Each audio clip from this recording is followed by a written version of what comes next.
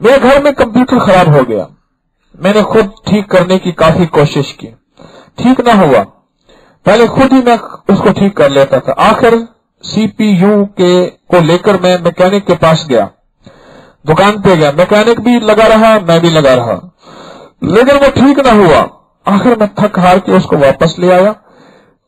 تین بار میں نے پڑھا نصر من اللہ فتح قریب اور تین بار میں نے پڑھا یا مسبب الاسباب سبب لی الخیر۔ بس۔ تین دفعہ کیا پڑھا؟ نصر من اللہ و فتح قریب اور تین بار کیا پڑھا؟ یا مسبب الاسباب سبب لی الخیر۔ اب اللہ سے ایک دفعہ دروشی پڑھ کر اپنے اوپر اور اس سی پی یو کے اوپر پھونک مار کر پھر اندر سے میں نے رم نکال کر دوبارہ اس کو چیک کیا، لگایا، آن کیا تو آن ہو گیا اور اس کی سپیڈ بھی تیز ہو گئی۔ مجھے کمپیوٹر کا سافٹ ویئر کا بہت بڑا انجینئر امریکہ سے آیا۔ میں اس سے ملنے گیا سمن آباد لاہور میں۔ اس نے مجھے عجیب بات بتائی۔ کہنے لگا، او، میں ایک گوروں کی بہت بڑی کمپنی میں کام کرتا ہوں۔ میں پوری دنیا کا ہیڈ ہوں، بس میرے اوپر گورا ہے، جو آنر ہے، اس کا مالک ہے۔ اتنا بڑا وہ سائنسدان تھا، پوری دنیا کا میں ہیڈ ہوں۔ ایک دفعہ ہمارے سسٹم میں خرابی آ گئی۔ سسٹم میں ہمارے کوئی نقص آ گیا، خرابی آ گئی۔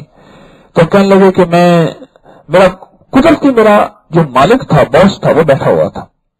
میں اس کو ٹھیک کر رہا تھا، تھوڑی دیر دیکھ رہا اس کے چہرے پہ غصہ اور ناگواری کی کیفیت۔ میں کہ یا اللہ، کون سی مجھ سے خطا ہوئی کہ میری جو ہے اس کو غصہ اور ناگواری کی کیفیت پیدا ہو گئی؟ کیا ہو گیا؟ لیکن میں نے اس سے پوچھا، تو کہنے لگے میری جائے نماز کی طرف اشارہ کر کے کہنے لگا پہلی طرح کمپیوٹر خراب ہوتا تھا، سسٹم خراب ہوتا تھا، پورا جو سسٹم تھا بہت بڑا، تو وہ اٹھاتا تھا اور اپنا کام کرتا تھا۔ آج تو اس کو ٹھیک کر رہا ہے۔